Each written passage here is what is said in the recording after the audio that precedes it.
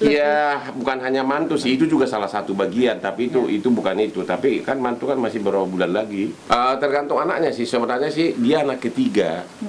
Kakaknya lagi sibuk si Felicia, Ya.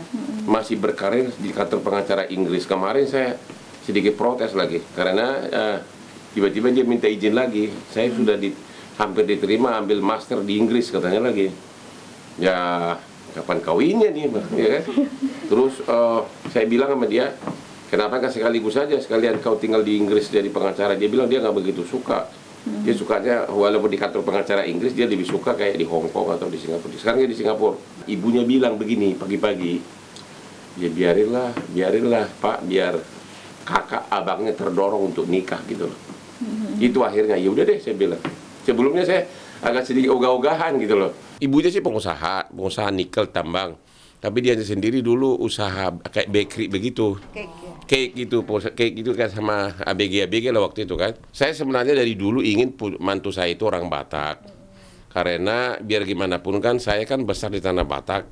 Dan nanti juga bikin pesta adat itu kan kayak manortor begitu bawa beras sampai ratusan orang. Itu kan sudah tradisi kita.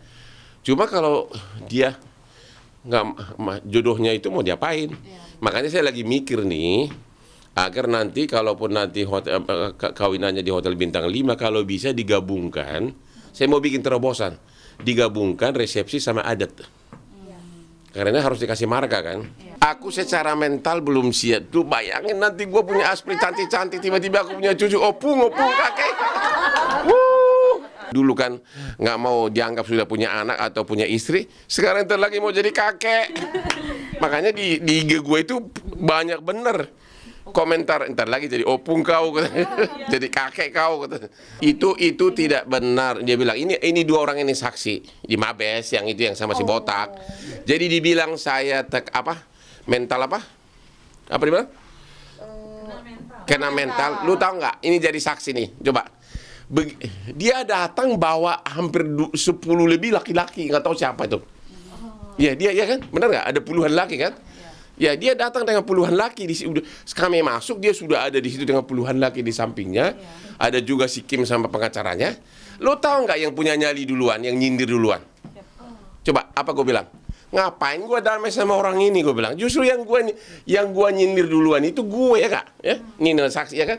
Makanya langsung ngamuk dia. Memang gue kalau acara-acara perlu selalu ada bodyguard, ada dua orang daripada dia ada puluhan. Kak itu nggak di sana itu tidak perlu klarifikasi, itu hanya formalitas.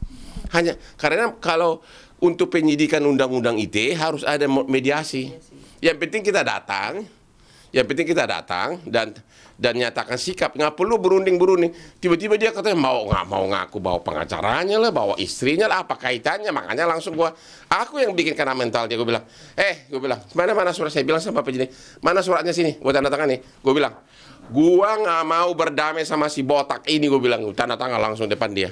Apa itu kata-katanya itu semua? Pertama pak dia bikin press release menggunakan kata-kata yang sangat memfitnah tanpa harusnya kan SOP pengacara itu kan somasi dulu undang dulu lawannya benar nggak kau berbuat begitu? Klarifikasi dulu dan tidak menyebutkan nama. Terus dibilang lagi saya punya punya punya penyakit kelainan seksual. Ya kan dia kan bukan dokter. Dia tidak punya kualifikasi untuk itu. Jadi harus dia sampai masuk ke pengadilan. No mercy, no maaf. Saya sampai hari ini belum ada perdamaian dan dan dan dan dan ke- kemarin itu kan pengacaranya nunjukin isi-isi pembicaraan WA dengan si itu. Nggak ada kaitan itu kan mediasi gue bilang gue bilang aja jawabnya singkat. Emang gue dulu mesra sama dia gue bilang sambil gue pegang punggung iklim makin sementara dia kan berusaha mendekati dulu kan. Ih gak mau. Gimana mau lah masih botak dari bahasa Inggrisnya. Kayak gini ya itu masih terus berjalan. Mudah-mudahan dalam waktu dekat akan tingkat penyidik